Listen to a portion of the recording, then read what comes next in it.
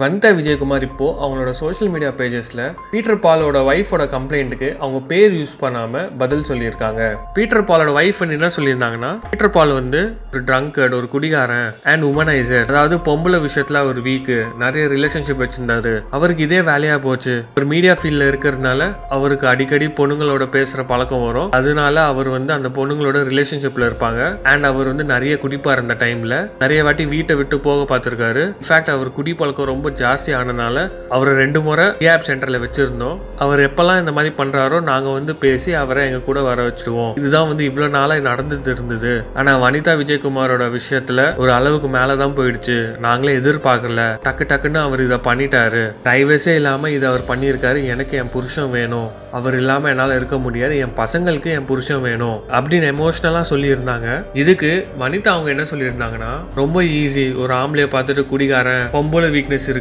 And ஒரு abuser இதெல்லாம் வந்து ஆம்பளைய பார்த்து ஈஸியா சொல்லிடலாம். எனக்கு வந்து பெண்களை விட ஆம்பளை ஃப்ரெண்ட்ஸ் தான் ஜாஸ்தி. ஒரு பொண்ணோட நான் என்றைக்குமே ஒரு ஆம்பளையாக நம்புவேன். ஒரு சில பொண்ணுங்க வந்து ரொம்ப ஜெலஸ் கன்னிங்காக இருப்பாங்க. ஆண்களோட ரொம்ப கன்னிங்காக இருப்பாங்க. நான் வந்து மெயில் சாஃப்னிஸ்ட்னு கூப்பிடுங்க but not a feminist I stand by legitimate victims irrespective of the gender அப்படின்னு அவங்க சோஷியல் மீடியா பேஜஸில் போஸ்ட் பண்ணியிருக்காங்க. இதை பற்றி நீங்கள் என்ன நினைக்கிறீங்கன்னு கமெண்ட் பாக்ஸில் கமெண்ட் பண்ணுங்கள்